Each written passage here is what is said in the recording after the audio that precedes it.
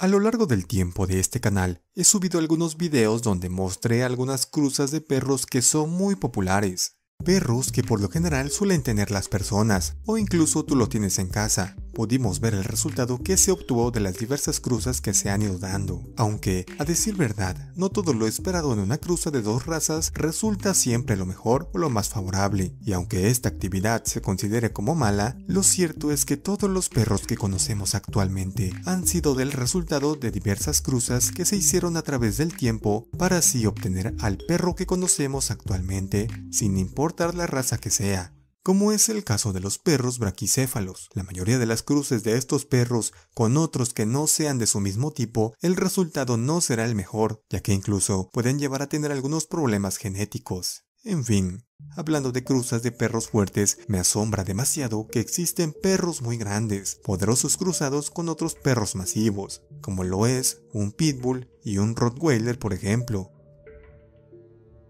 El primero que quiero mencionar es uno conocido como Dogal, el resultado de este perro fue del cruce de un dogo argentino, uno de los perros que utilizan para la cacería, porque así como el dogo argentino lo usan, también al galgo por ser un perro muy rápido. Pero tal vez te preguntes, ¿cómo es posible que se haya dado este cruce? Bueno, existen lugares donde la cacería de jabalís, entre otros animales, es muy común, siempre que esté permitido desde luego, ya que hay lugares donde la cacería está prohibida estrictamente. Los perros usados principalmente son el dogo argentino, un letal y conocido cazador, y el galgo, uno de los perros más rápidos del mundo, no solo usado para la cacería, sino también para las carreras. Como puedes ver en este video, era de esperar que un perro cruzado con un dogo fuera un ejemplar muy imponente, poderoso y que además para su función de cazador fuera uno de los mejores. La intención de su creación, por supuesto, fue para ser usado en la cacería, para trabajar como la mayoría de los perros que se usan en montaña. Una máquina de potencia y velocidad fue el resultado que se obtuvo. Un canino que es un complemento para los cazadores ya que así lo han descrito por su fuerza física y resistencia. La gran apariencia del resultado de este cruce fue uno de los más asombrosos ya que es un perro muy musculoso con el color del dogo argentino y una apariencia en su cabeza demasiado fuerte. Una de las razas más sorprendentes por su apariencia. Otro de los perros que más miedo podría causar es el cruce de un dogo, con un Pitbull Terrier. Si ya de por sí sabemos que los dos son perros únicos por ser muy fuertes, el resultado del cruce entre ambos era lógico que darían como resultado a un perro muy fuerte, pero se tiene entendido, y he visto en muchas páginas, como a esta cruza específicamente de dogos con pitbull, en general lo suelen llamar como mestizos de dogo. Pero aunque esto sea así, no se puede negar el asombroso aspecto que tiene, tal como lo estás viendo en la imagen.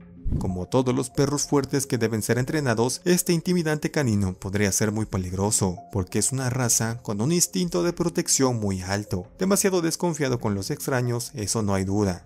Podría atacar en cualquier momento y más aún si no se llegara a entrenar a temprana edad.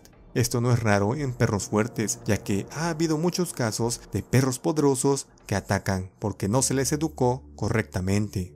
No quise darle otro puesto a este que voy a mencionar porque en teoría también es la cruza de un dogo y un pitbull, un ejemplar que nació en Córdoba, Argentina, que es la cruza que se dio específicamente de un Staffordshire y un dogo argentino.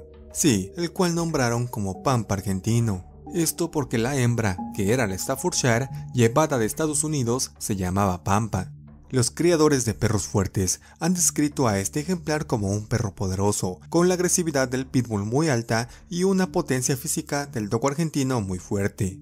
No hace falta describir más el físico de este magnífico perro porque ya estás viendo lo grande que es. Es un perro muy intimidante, con un color en su físico demasiado llamativo, muy poderoso desde luego, porque es el cruce de dos perros muy fuertes.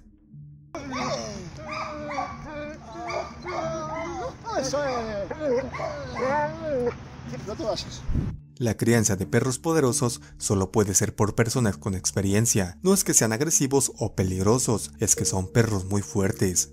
Personas que crían dogos o canecorsos saben lo fuertes que llegan a ser y lo dominantes cuando ambos quieren tomar el control, ya sea solamente por ser los líderes o simplemente por estar jugando. De cualquier forma, ambos perros son poderosos. Ahora veamos el magnífico resultado que se dio del cruce de un cane corso y un dogo argentino. Pero no podemos dejarnos llevar por la apariencia que este gran perro tiene, porque se sabe que es muy cariñoso con su familia y muy dócil con sus dueños, un perro muy protector que no pasará por alto ningún ruido extraño que escuche por su hogar, ya que es muy seguro de sí mismo pero siempre se mantendrá alerta uno de los más poderosos que pudiera llegar a ser de los más fuertes e invencibles.